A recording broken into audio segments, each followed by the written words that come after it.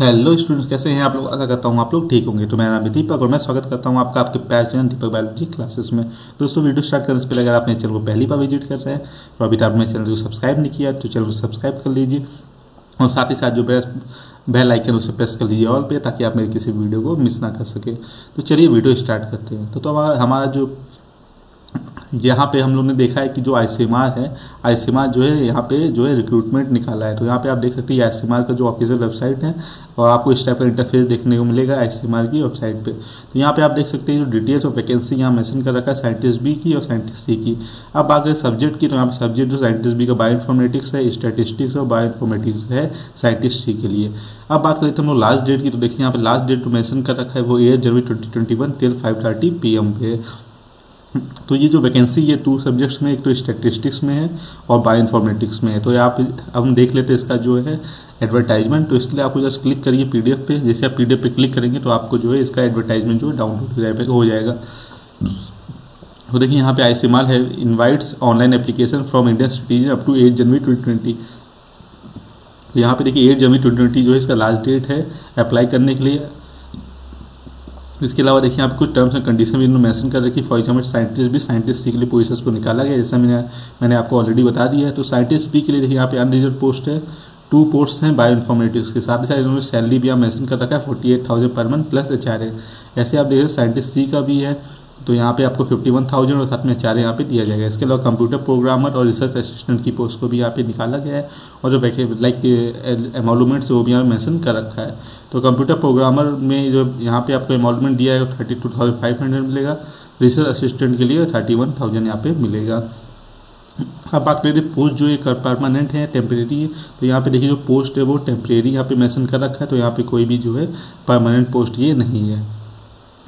हम बात करें कुछ और इम्पोर्टेंट पॉइंट्स का। तो देखिए, यहाँ पे जो है अप्लाई कैसे करना है आपको?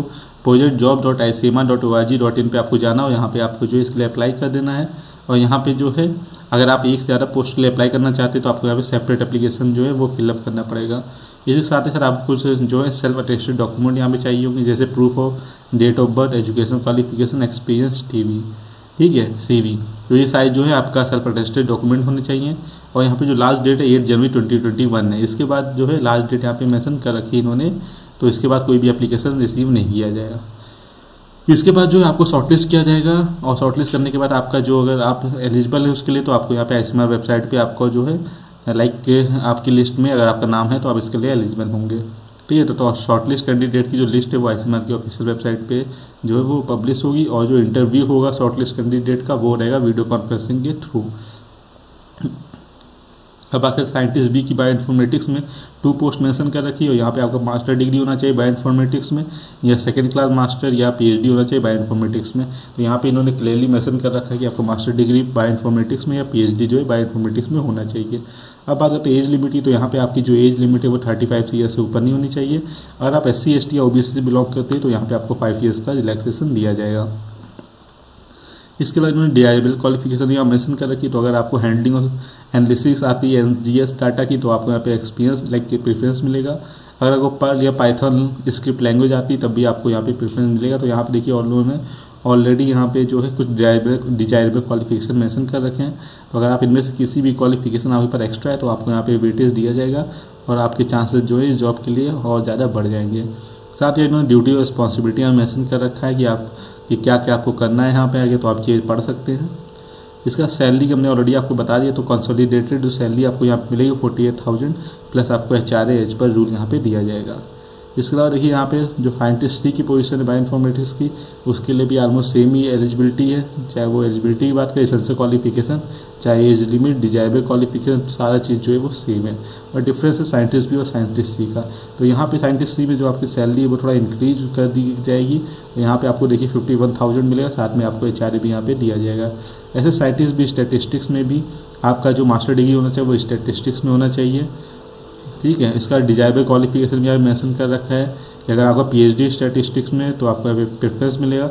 इसके अलावा अगर आपका टू ईयर्स का पोस्ट डॉक्टर एक्सपीरियंस है या टीचिंग एक्सपीरियंस है, तब भी आपको यहाँ पे जो है लाइक प्रेफरेंस दिया जाएगा। तो यहाँ पर अगर बात करें सैलरी की तो यहाँ पे जो सैलरी आपको दी जाएगी वो forty eight thousand plus H R H per rule यहाँ पे दिया जाएगा।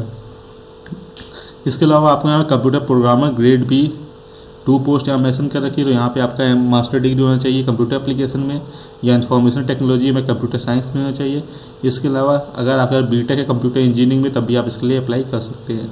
यहाँ पे जो एज लिमिट वो भी थर्टी ईयर्स है, और आपको यहाँ पे जो है फाइव ईयर्स का रिलैक्सेशन दिया जाएगा। अगर आप S C S T O B C candidate हैं तो तो इसका डिजायरेबल क्वालिफिकेशन यहाँ मेंशन कर रखा है कि आपका एम है, तब भी आपको यहाँ प्रेफरेंस मिलेगा। या आपको जो है सी प्लस प्लस या जावा का नॉलेज है, उसके लिए भी आपको यहाँ पे जो है प्रेफरेंस दिया जाएगा। और यहाँ पे अगर बात की कंसोलिडेटेड सैलरी की, यहाँ पे जो कंसोलिडेट सैलरी आपको दी जाएगी, वो मिलेगी thirty two thousand five hundred per month इसके अलावा यहाँ पे रिसर्च असिस्टेंट की वन पोस्ट को निकाला गया तो यहाँ पे आपको ग्रेजुएट होना है।